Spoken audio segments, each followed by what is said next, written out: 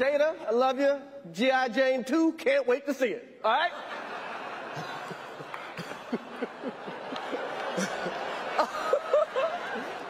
That was a that was a nice one. Okay.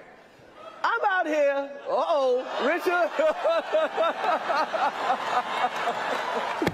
oh, wow. Wow. Will Smith just smacked the out of me. Keep my wife's name out your mouth. Wow, dude.